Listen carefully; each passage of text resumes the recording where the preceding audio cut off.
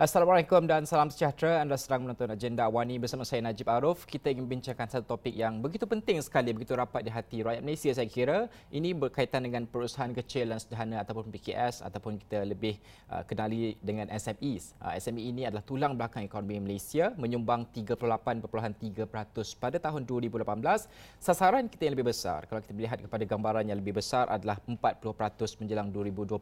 Akan tetapi sudah pasti adat dalam perniagaan ini ada banyak cabarannya. Ada banyak ya, perkara-perkara atau cabaran yang disuarakan oleh PKS ini dan Extra Awani sendiri telah pun turun ke akar umbi bertanya kepada mereka selama ini dan juga kita membawakan bagaimana penyelesaiannya. Hari ini saya membawakan uh, ke semua ini dalam perbincangan dalam agenda Awani. Saya bersama dengan orang-orang yang pakar dalam bidang SME ini, dalam bidang PKS. Uh, saya bersama dengan tiga orang tetamu kita pada hari ini. Pertama saya, uh, pertama sekali di sebelah kiri saya adalah Encik Adnan Sharif iaitu Ketua Perbankan SME Maybank dan juga di sebelah sebelah sana adalah Encik Leong uh, Weng Chung iaitu Ketua Pegawai Perniagaan CGC dan akhir sekali di hujung sekali uh, Encik Ikhwan uh, Hashidan Ilyas iaitu pengasas dan Ketua Pegawai Eksekutif Herbal Works Group Holdings yang berhad. Okey, saya nak bermula dengan Encik Anan terlebih dahulu. Kalau kita bercakap tentang uh, SME ataupun PKS ini, kita tidak boleh lari, ber, lari bercakap tentang pembiayaan. Ini masalah utama kalau kita jumpa PKS di luar sana saja, perkara ataupun cabaran utama yang mereka suarakan adalah uh, berkaitan dengan pembiayaan, financing kepada mereka.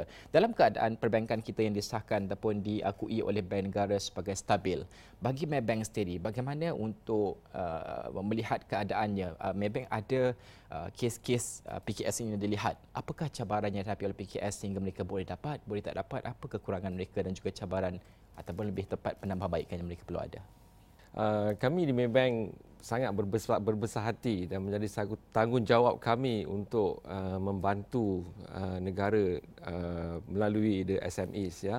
So saya notice ada tiga perkara besar yang uh, selalunya menyebabkan uh, mereka gagal ataupun uh, kelulusan tidak didapati ya.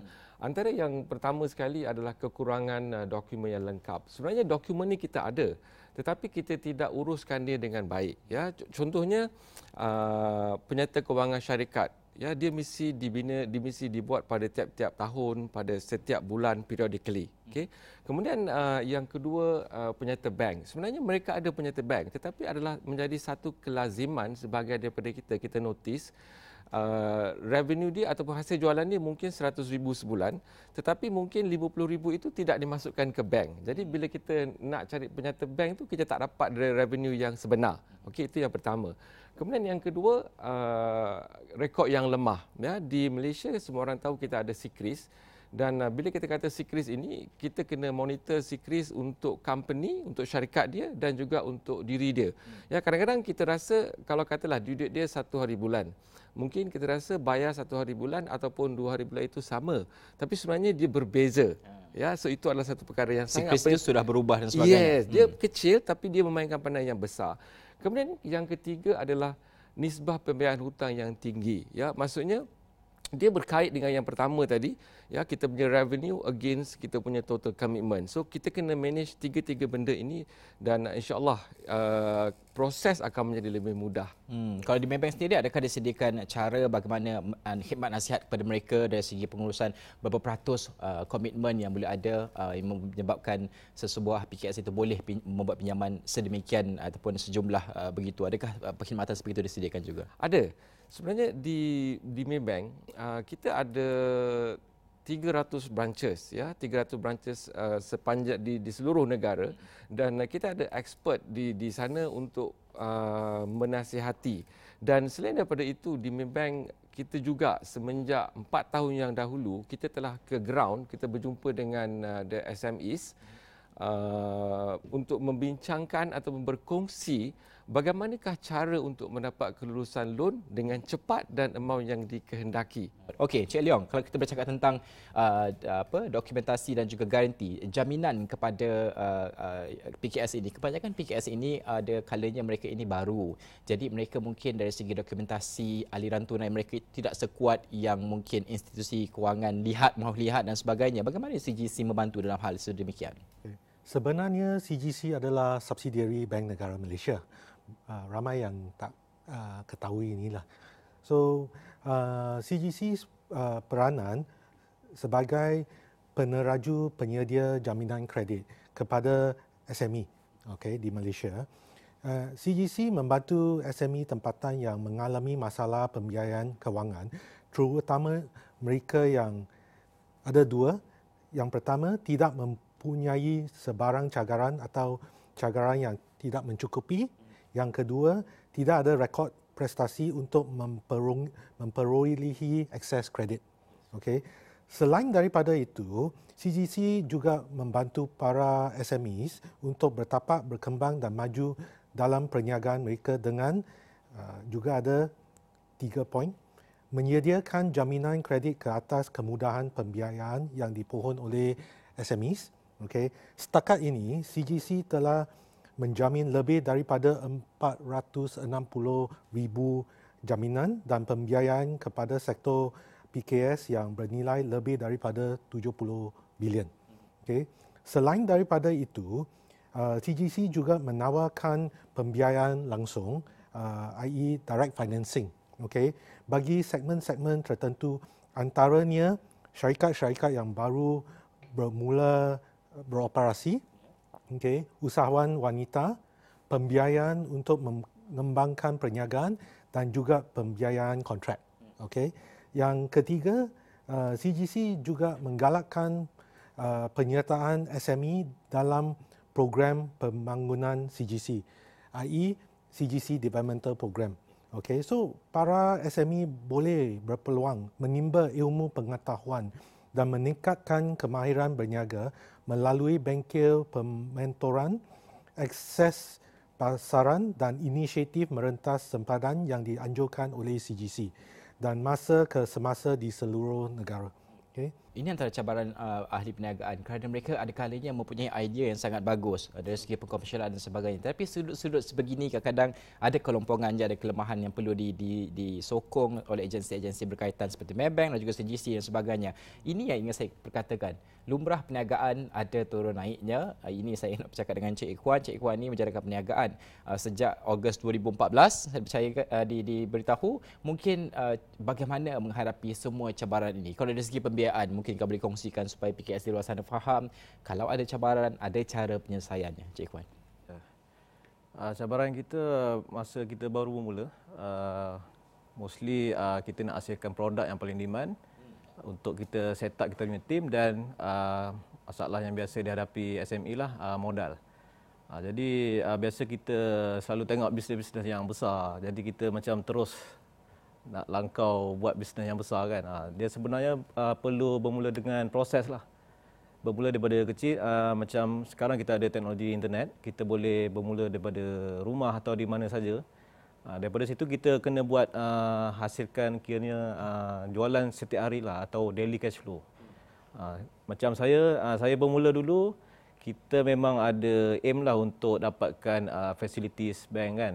Uh, dan kita memang, saya memang tanya sendiri dengan bank, Tanya macam mana syarat-syarat untuk dapat lah sebab kita memang ada aim kita nak grow more lebih lebih besar lah nanti. Dan uh, kita cuba penuhi syarat tu. Contoh uh, macam kita mesti ada jualan setiap hari dan mesti ada daily cash flow.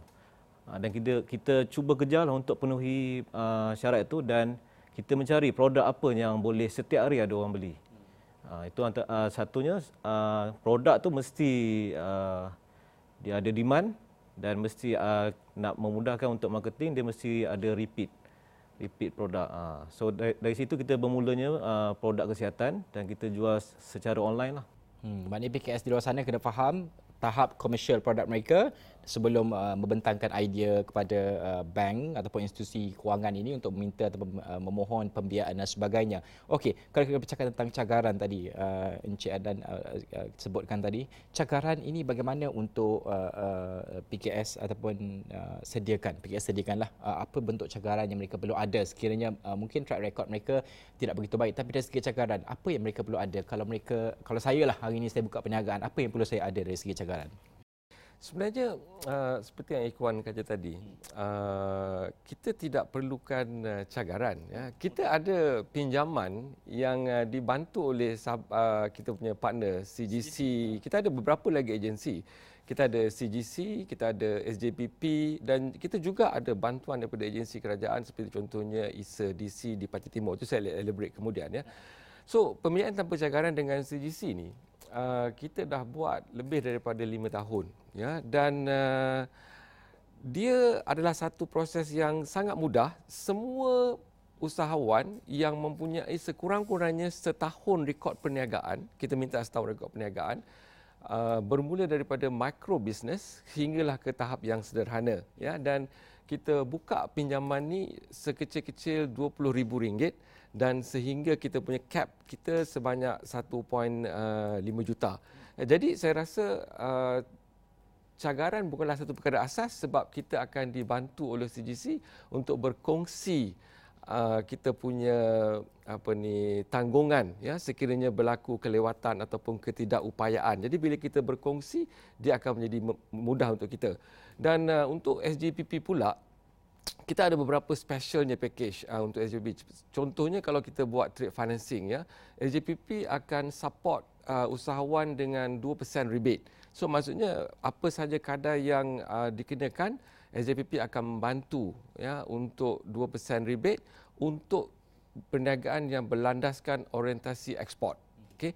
Dan uh, yang ketiga ini istimewa untuk uh, kita punya uh, peniaga-peniaga kita di di Pahang, Kelantan, Terengganu hinggalah ke Mersing di mana ISRISA membantu memberikan rebate tunai. Maksudnya uh, setiap pinjaman yang diberi kepada peniaga ya uh, ISA akan memberi rebate sebanyak 50% daripada kadar keuntungan ataupun kadar faedah yang dikenakan oleh pihak bank. Ya. Jadi ini kita kena rebut peluang ni.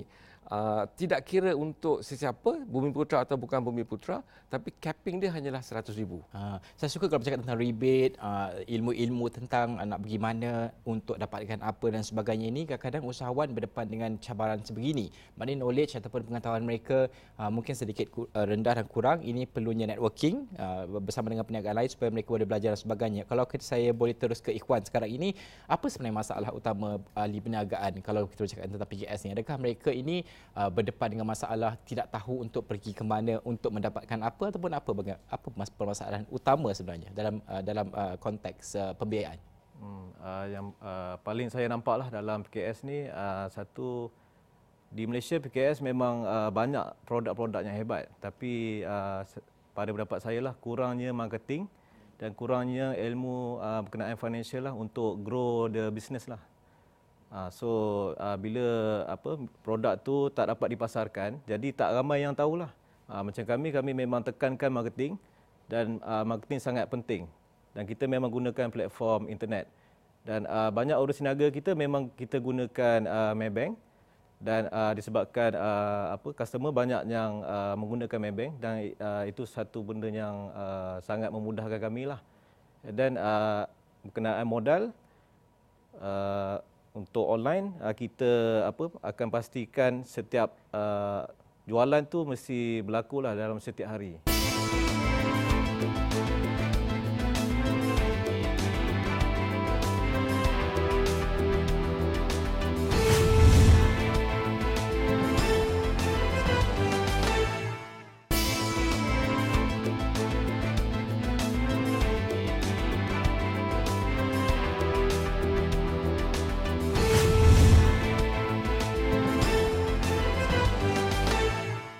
Peranan CGC ini uh, sudah tidak boleh dinafikan. Memang 47 tahun, uh, tempoh begitu lama sekali, ada banyak yang yang disumbang dan sebagainya.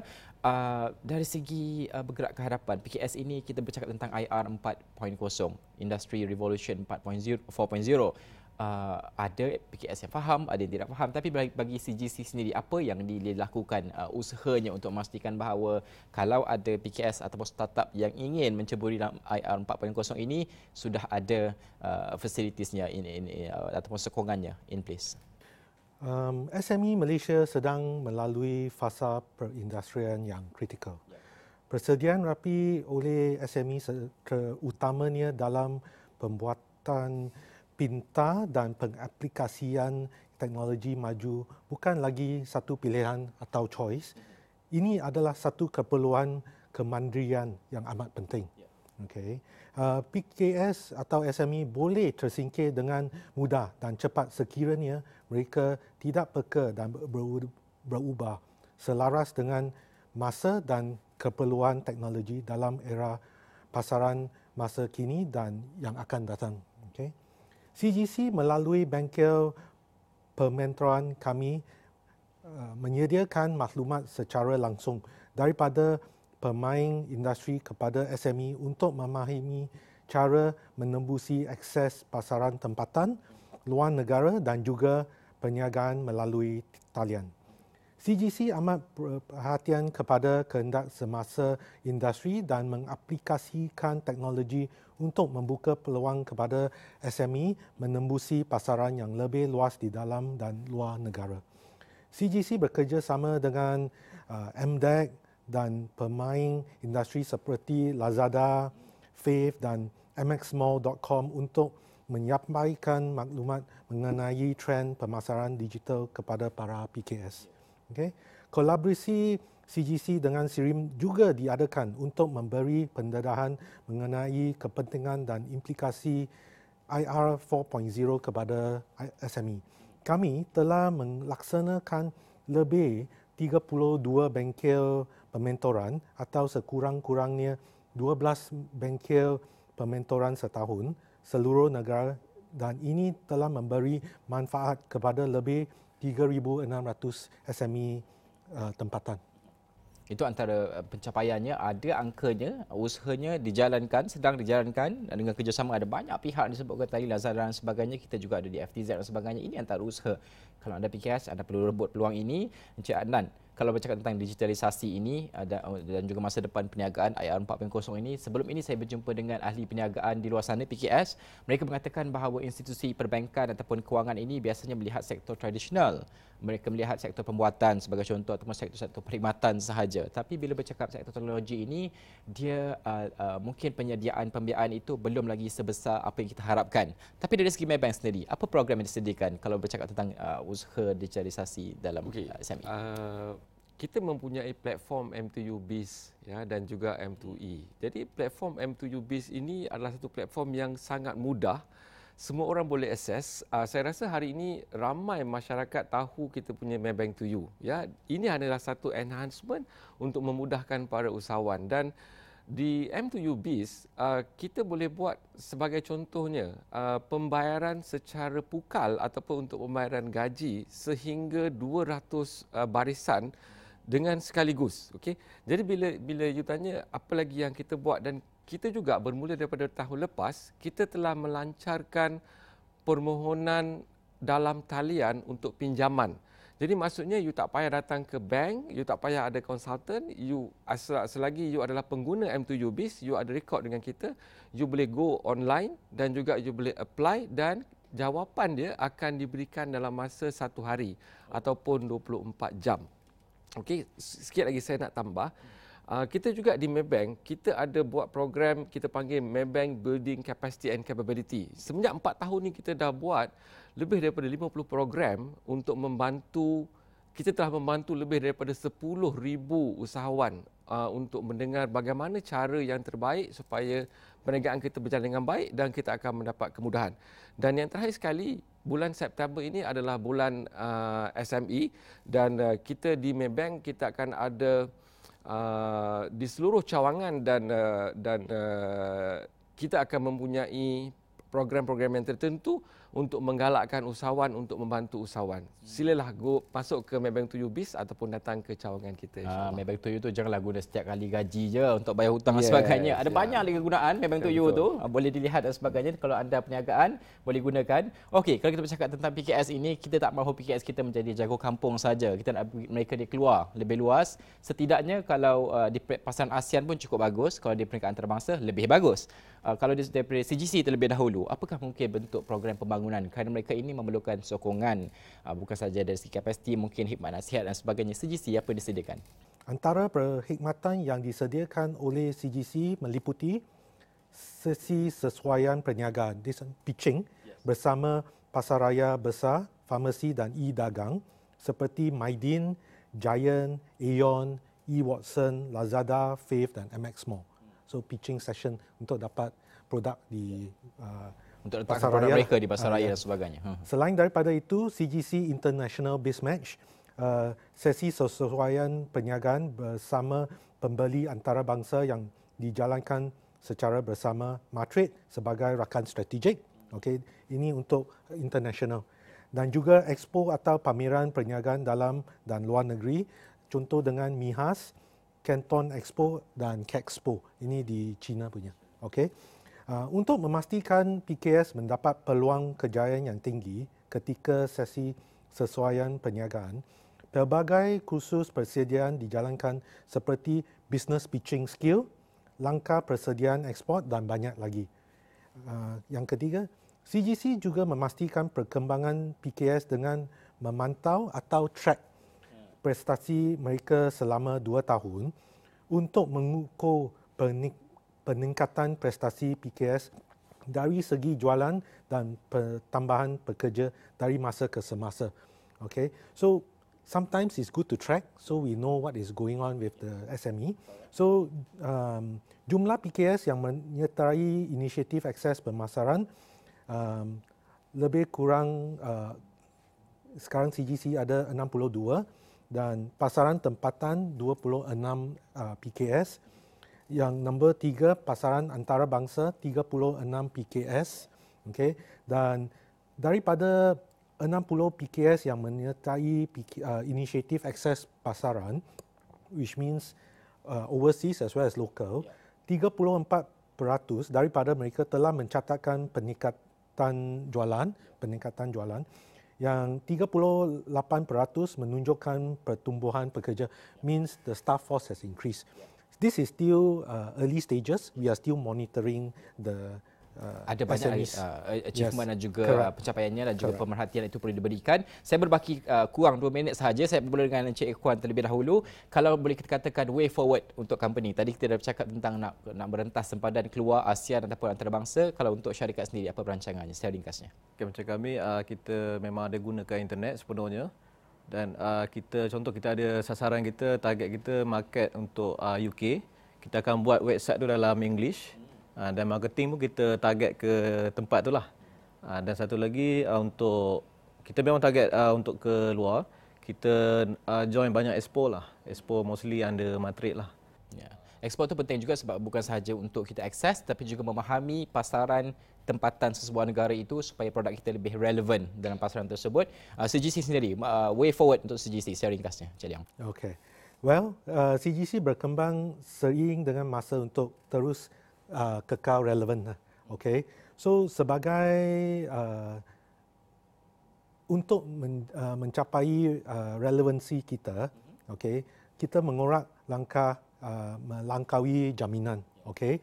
Uh, antaranya ialah SME, IMSME.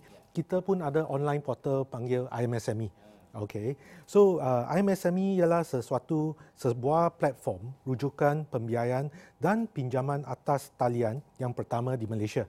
Okay, ia berfungsi de- sebagai saluran alternatif untuk PKS mencari produk pembiayaan. Okay, mampu menjimatkan masa dan memendekkan proses permohonan pembiayaan yang kompleks. Sejak pelancaran IMSME pada 9 Februari 2018, platform ini mempunyai 9,422 PKS berdaftar, telah meluluskan lebih 125 juta jumlah pembiayaan, uh, berganting bahu dengan 39 rakan perniagaan dan juga menyediakan 43 jenis produk untuk dipadankan. Okay. Selain daripada kita, uh, yang apa tadi saya sudah cakap, program pembangunan CGC itu CGC Developmental Program. Uh, apa yang mereka uh, buat ialah hikmat nasihat untuk akses pembiayaan, hikmat nasihat untuk akses pasaran dan juga yang paling penting uh, baru ini ialah hikmat nasihat pembiayaan uh, untuk PKS yang tidak dapat uh, pembiayaan, pembiayaan dan sebagainya. Ya. Mana merentas hanya bukan Betul. hanya jaminan dan sebagainya. Kalau dari segi Maybank pula ya. uh, bergerak ke hadapan uh, banyak dah ditawarkan tapi apa lagi yang ditawarkan apa lagi PKS boleh aspek sharing kasnya uh, gunalah kita punya digital uh, line ya. Kita punya M7 Biz. Selain daripada itu kita juga ada uh, merchant yang mana kita boleh buat pembayaran melalui credit card. Hmm. so gunakan uh, uh, terminal ni. Dan kita juga ada QR Pay ya yang mana kita lancarkan dalam masa setahun kita telah punya 250,000 uh, merchant atau pelanggan yang yang uh, go into the system. So maksudnya Uh, semua ini akan mempunyai rekod yang baik dan kita tidak perlu takut sebenarnya dengan era digital ini ya. Itu sangat penting terima kasih Okey, itu tadi uh, Encik Adnan Sharif, Ketua Perbankan SME Maybank, Encik Leong Weng Chung, iaitu Ketua Pegawai Perniagaan CGC dan Encik Ikhwan Hashidan uh, Ilyas, pengasas dan juga CEO atau Ketua Pegawai Eksekutif Herbalworks Group Holdings, uh, Group Holdings yang berhad berbincangkan tentang keadaan semasa PKS, pinjaman dan sebagainya. Kalau ada PKS sedang menonton, cari mereka ini bertiga nak belajar dengan Encik Ikhwan, Encik Leong dan sebagainya untuk mendapatkan pembiayaan dan sebagainya. Uh, dan juga sekian sahaja agenda awani untuk uh, jam ini. Saya Najib Arif. Assalamualaikum dan salam hormat. Thank you.